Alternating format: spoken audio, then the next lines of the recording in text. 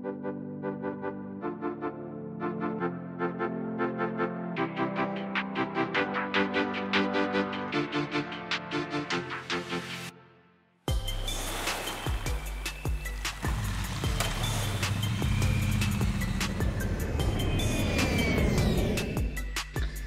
is the day, my friends. We are getting everything, all systems ready to go here. Yeah, baby. I can't wait. I can't wait. We have been in Grenada for like two months now. Today, we are going to be leaving Grenada. We're making moves. Could not be more freaking stoked. Basically no wind.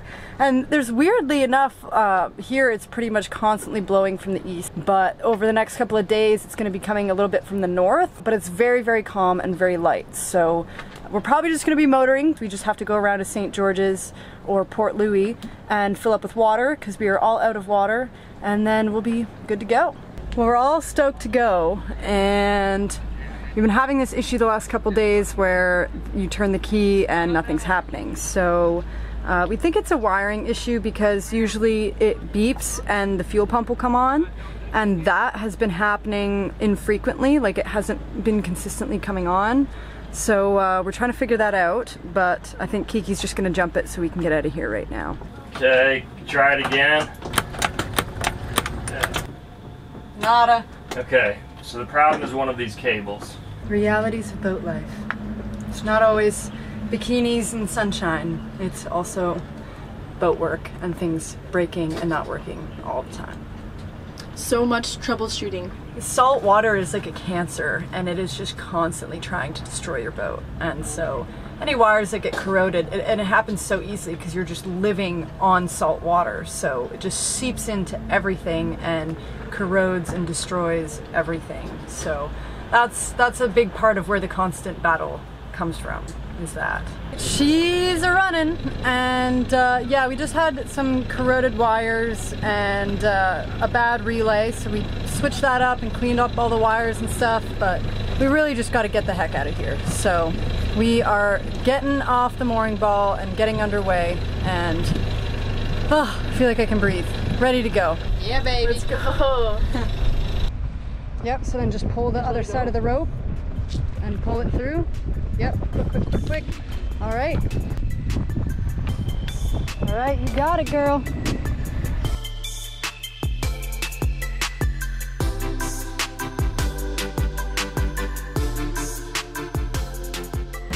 Oh, the irony. We pulled in just to fill up on fuel and water. We actually ran out of water like three days ago. So none of us have showered or done anything or been able to use any water do dishes or anything for like three days. So we come into the dock, fill up with water, and not five minutes before we arrived to the dock, somebody was fishing off the dock and broke the water line. So now there's no water here. So now we still can't fill up with water. It's just been one of those typical boat days, and this is the reality of boat life, which Cass is now getting to witness. Is uh, it is it's always one thing after another after another, and the good days are great, and, the bad days, certain things just seem to keep on happening. So time to sit here and drink a beer until we figure something else out. well, cheers to a typical day of boat life. Standard line. Enjoying a beer in the sun instead. So it's the small things. Bill, what's going on, bro? Hey, buddy. This is Bill. Yeah, that's Bill. Hi, You got Bill. Fred. He's not gonna leave your boat. So this is yours. Thank you so much. I really welcome. appreciate it. Hey. What are you doing? You can grab him. Come here. Hi, Bill. Don't come in here, Bill. Yeah, it's okay. No, I want you. Get down from there. He's so funny. Come on, why don't you hop down? Yeah. Come on. Filling up. We don't even need diesel that bad. All we need is water. and the cherry on top. It's not starting again. Stuck. stuck, on the field dock. Stuck at the field dog. Good God, it's one of those days.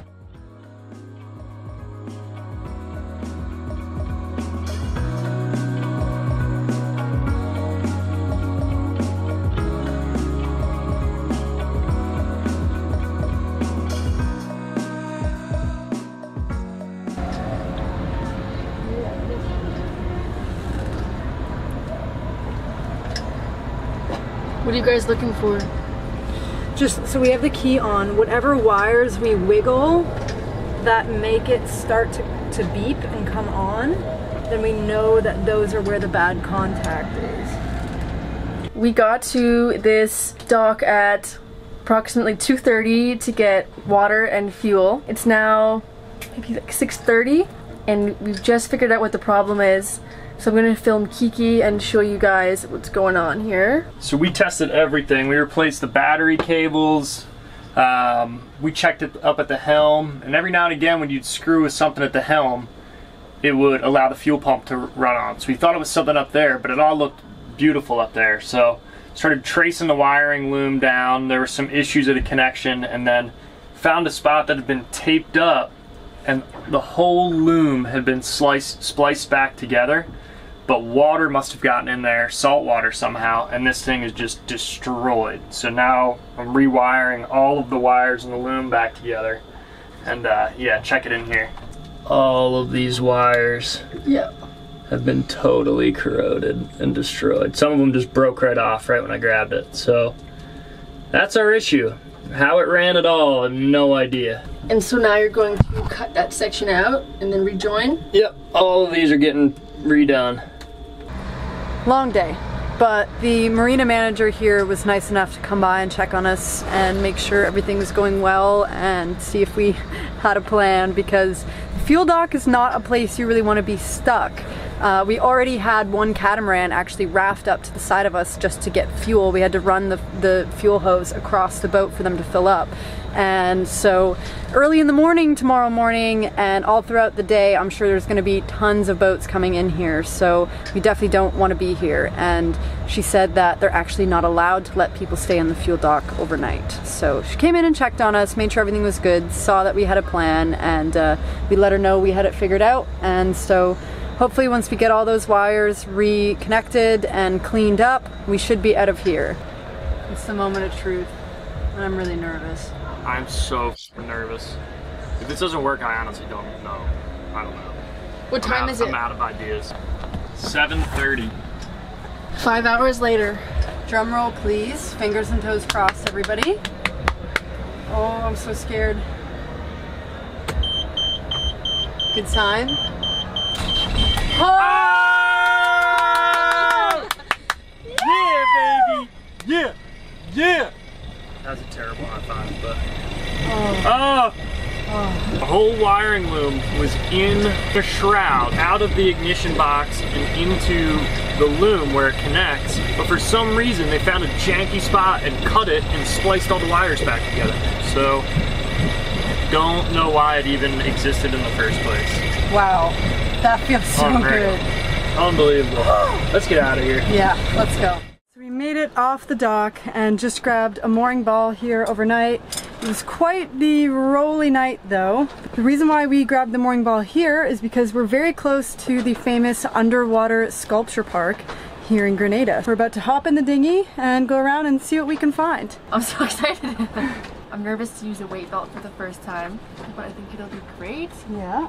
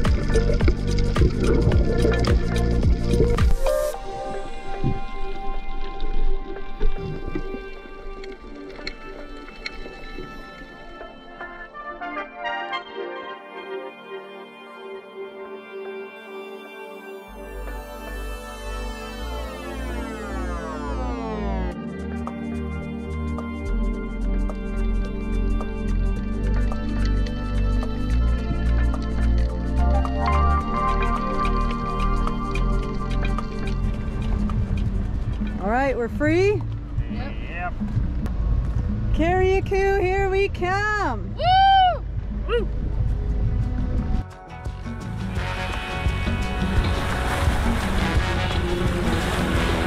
This world is not my home.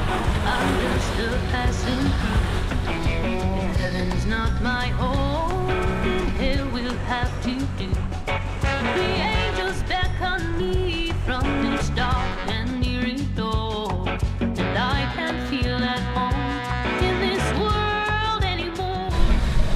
It is the most gorgeous day today. Such a contrast from yesterday. We went diving this morning on the sculpture park and now we're underway and we're kind of catching our last sights of Grenada. We're about to round the corner and we're heading for Carriacou, which is it's a separate island. Technically, it's still part of Grenada, but uh, yeah, we'll be heading there to finally get some water, hopefully, and check out, and then we'll continue on to the Grenadines but it is flat calm out here. There's only five knots of wind and it's straight on the nose, so we're just motoring, but it's still a very peaceful day and feels amazing to be moving again just after all the work that's been done and everything that's been happening since we've been here over the last two months. It's just so rewarding to finally get going again and be moving and the boat's running good and yeah, all around just a super positive day so far.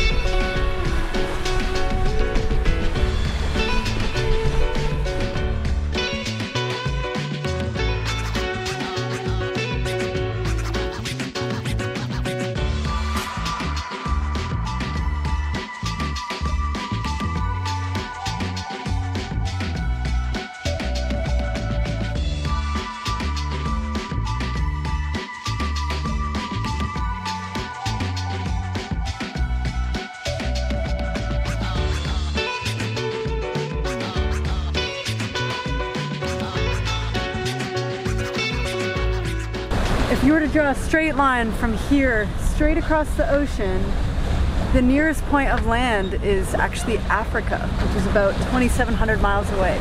Just wild to think about and to realize kind of how far me and this boat have come.